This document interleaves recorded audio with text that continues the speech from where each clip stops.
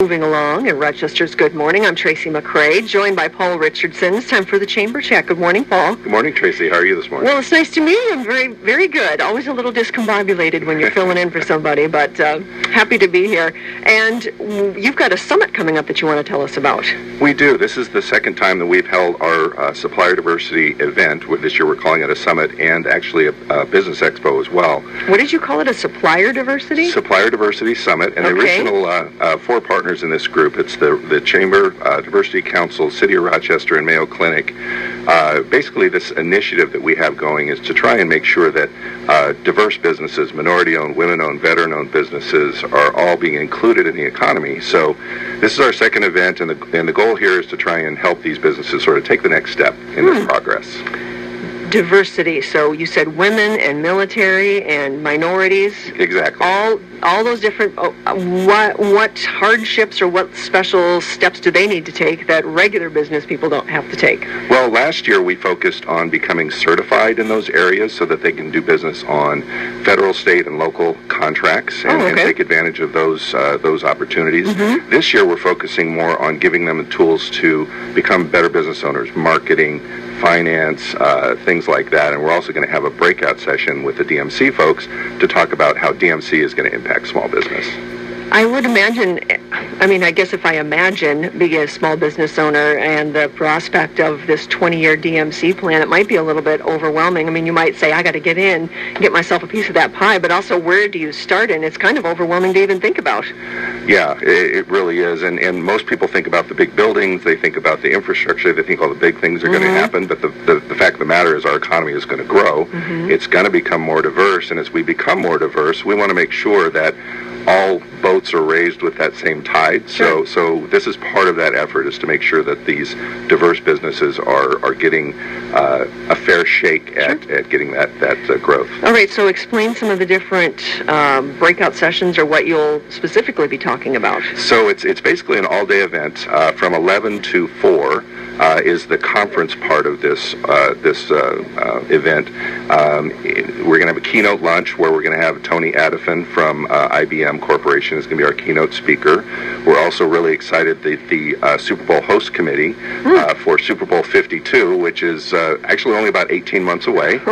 Oh, it'll be up, up, up, at the new U.S. Bank mm-hmm. Stadium. But one of the things about the Super Bowl is that they are um, they have a supplier diversity initiative themselves called Business Connect. So they'll be down here trying to connect with the small businesses and get them business connected to the Super Bowl. Hmm. Uh, but then uh, we'll have breakout sessions throughout the day uh, talking about the topics we talked about. Uh, and then we also, this year is a new thing for us, we're actually incorporating the, the Chamber's normal fall business showcase along with this event. So this will be at the Civic Center, a much larger event, so we'll have um, a lot of Chamber businesses out there showing what they can do and, and connecting with the public. The first part of the conference is uh, is admission uh, mm-hmm. for 20, $25 to get in, including mm-hmm. the luncheon. Uh, but the business expo is going to be open to the public. Now, how did you, you said yeah, you did this last year too. It's expanded a little bit this year, but how did it go last year for the first time out of the gates? Yeah, we were really excited with, with how it went last year. Last year we had it at a smaller venue. We had it at a hotel mm-hmm. at the Doubletree downtown.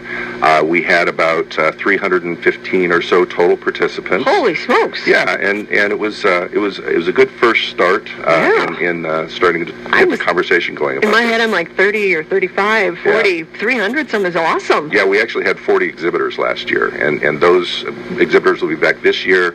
Uh, you're talking about things like the state of Minnesota. You're talking about um, organizations like the Hispanic Contractors Association, hmm. um, that sort of thing, mm-hmm. support organizations for these groups. But in addition, this year again, we're going to expand it to, to be a, a business expo. And as is always the the case, and usually is the case, I should say, there are a couple of small businesses that would fall into this that are do they pick up the charge and are leading the charge in it, or is this a full chamber thing? Well, or is it, it both? It, it's a little bit of both. We've mm-hmm. worked very closely with Mayo Clinic on this. They're, they're, they're our pinnacle sponsor for this, so mm-hmm. we have a lot. We're very grateful to them to being our sponsor.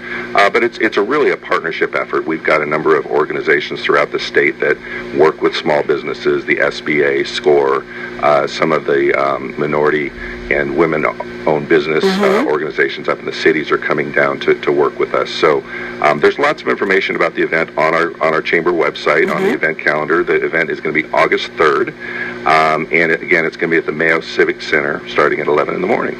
Wow. So people can just go to the chamber website and sign up, or how do they get signed up? Yeah, so there's a registration page. Look for our event calendar. Uh, go to August 3rd. There's there's two uh, ways to register. You can either register as an exhibitor for the Business Expo. Yeah, I was going to say, there's a lot of different ways that you can do this. Exactly. Or if you just want to register to come and attend, that's $25, relatively, uh, very inexpensive when, it, when you consider it includes lunch and a full day of, of conference. So. And you said the speakers from IBM, are the folks from the Super Bowl also speaking as well? They are. Uh, the keynote is going to be uh, uh, Tony Adifin, mm-hmm. and, and the, the great thing about IBM Corporation is one one thing that people don't know is IBM is probably the most supplier diversity oriented company uh, corporation in the world. Uh, they lead the globe in terms of that kind of uh, stuff. So so we're really excited to hear hear their perspective. Even though they don't do a lot of buying here in the Rochester yeah. area on a global basis, they really do. So it is funny when you think you know you keep saying you know it's a global marketplace now. Yep. I mean that is totally the trend. Going to be a big issue I think in the presidential election too. Yep.